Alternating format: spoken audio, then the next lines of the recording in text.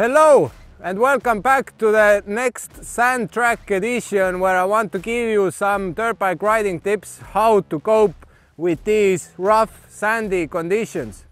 Today I want to talk about jumps.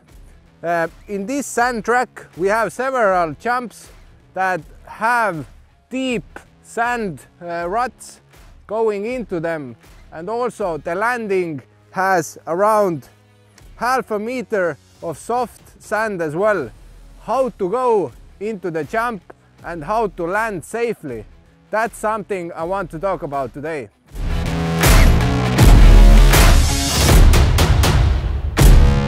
In these sandy tracks there are two very important things. One is the correct body positions and the other one is consistent power delivery.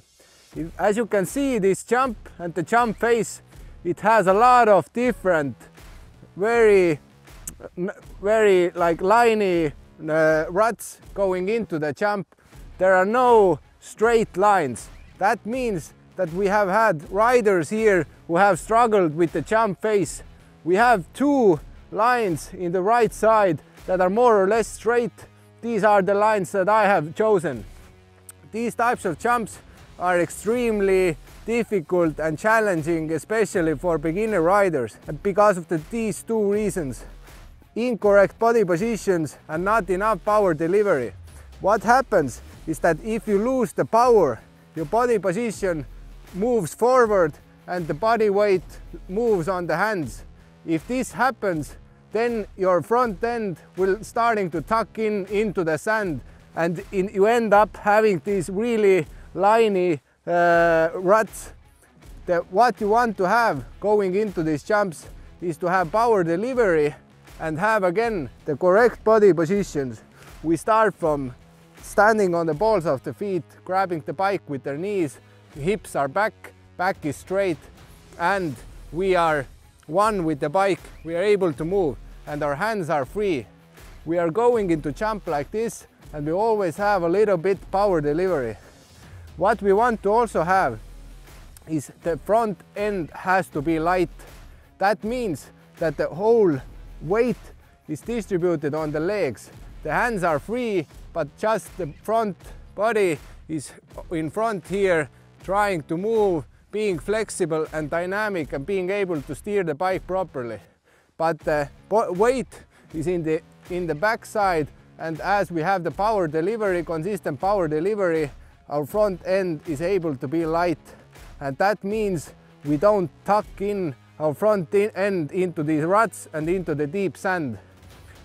When we talk about going into the jump and we see the jump face from here, it's really important that you have your eyesight in the tip of the jump. You can't watch right ahead of you what happens here. If you're only riding like this, then you will have troubles. If you are right here when I'm standing, already I have to look into the top side of the jump face.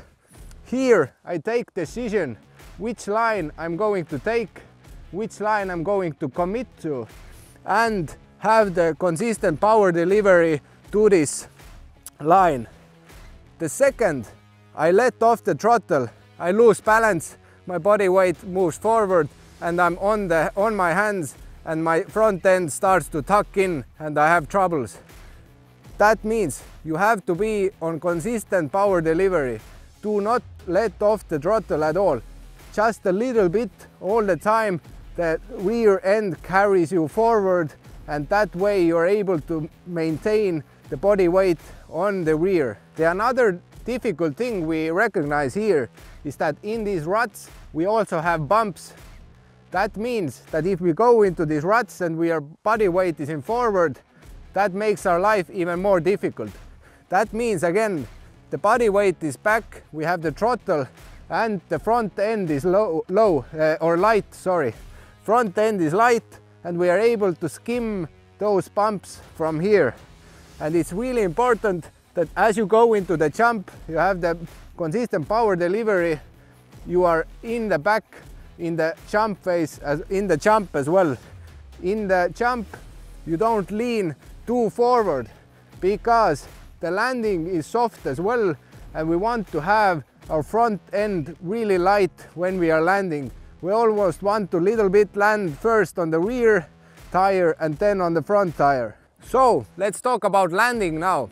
As you can see, we have like half a meter soft, really soft sand and ruts in the landing. That means that the landing is one of the most important parts here and especially in the sand tracks, what you need to keep an eye on. First, as I mentioned, you have to land a little bit on the rear uh, end first and have the throttle on immediately. In the air already, few milliseconds before landing, you hit the throttle in order to have the rear end carry you forward immediately when you land. Now, let's talk about body positions as well. I want you to land again on the, the weight is on the rear tire. The front end has to be light and you have to be in the attack position.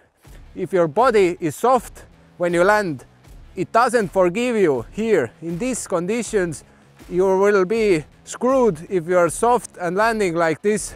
You have to be in the attack position, ready to attack these uh, ruts, this sand. And that means being on the rear tire with your weight and hitting the throttle really heavily.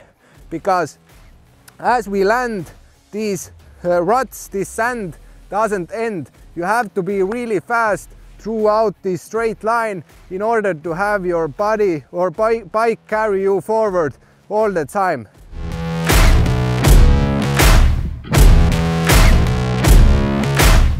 Thank you for watching this episode today. I'm really thankful for you that you spent your time in this channel. If you haven't subscribed to my YouTube channel yet, make sure that you're subscribed because every week I try to bring the top dirt bike riding tips to you. And also, one important thing I want to announce. Last year I wrote three dirt bike books and these are e-books that are covering everything about motocross.